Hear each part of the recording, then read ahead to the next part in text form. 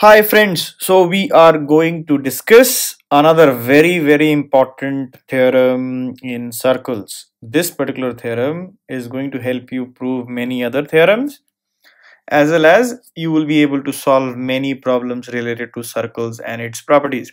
So let us understand this theorem. It says the perpendicular from the center of a circle to a chord bisects the chord right? You understand what a perpendicular is? So you are dropping a perpendicular from the center o in this case onto a chord pq and the foot of the perpendicular is r as shown in the picture. You have to prove that pr is equal to rq that's what is this word bisect means okay? Uh, now let's prove it. So what's given? It is given that OR is perpendicular to PQ, right? Right, and O is the center. O is the center of circle. Okay, you have to prove to prove that PR is equal to RQ. Then we will say that OR bisects the chord okay how to prove proof is very straightforward. And uh, we know that we have to use something called congruence of triangles which we have studied in this grade. So we have to basically prove that pr is equal to rq so whenever there are two items two geometrical elements to be proven to be equal we have one methodology and that is you know if we somehow prove that they are corresponding parts of two congruent triangles then we are done. So it looks like they are part of two congruent triangles. So let's see what all. So if you look closely triangle OPR so you can write in triangle OPR and triangle OQR I have maintained the order of the vertices. So you have to be very very careful about it so OPR and OQR. So clearly we see we have to find two triangles, two different triangles. PR should be part of one triangle, RQ should be part of the other triangle. Then, and if we somehow prove that PR and RQ are the corresponding parts of those two triangles, and uh, you know those two triangles are also congruent, then our job is done. So it looks like yes, it is like that only. So hence, let's evaluate these two triangles. So in, in triangle OPR and OQR, what is very obvious is OP is equal to OQ.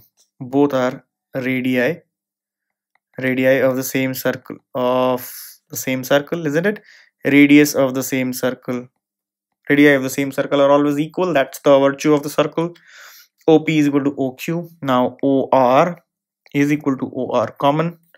This is a common side to both the both the triangles. Okay, and angle O ORP is equal to angle ORQ and both are equal to 90 degrees, right? Why? Because we know that OR is perpendicular to PQ. This was given here, you see, right? So hence, by which property, guys? If you see there's a 90 degrees, there is a hypotenuse. This R is the hypotenuse of both and other side. So hence, we say triangle OPR is congruent to triangle OQR. Again, order of the vertices is very, very important. Okay. Therefore, we will write PR is equal to QR. Isn't it? Why? This is CPCT, CPCT, right? And that's what we wanted to prove. So PR is equal to QR. Hence, proved. So what do we learn out of this theorem? That a perpendicular from the center dropped onto a chord. Not just any perpendicular. The perpendicular has to be dropped from the center. So if you drop another perpendicular like that that will not bisect the chord pq okay? Only that chord which is or only that perpendicular which is dropped from the center onto the chord will bisect the chord. Okay? And we just proved this. In fact if you see the converse is also true which we'll prove in the next session. So the converse of this theorem will be that if you join the midpoint of a chord to the center, that, that line will be perpendicular to the PQ or to the chord, isn't it? once again if you join the midpoint so you know we prove that r is the midpoint of pq but let's say r is given to be the midpoint of pq and you join it to the center then you have to prove that the that line segment that is or is perpendicular to the pq that will be the converse statement of this given theorem so we will study we will study that converse in the next session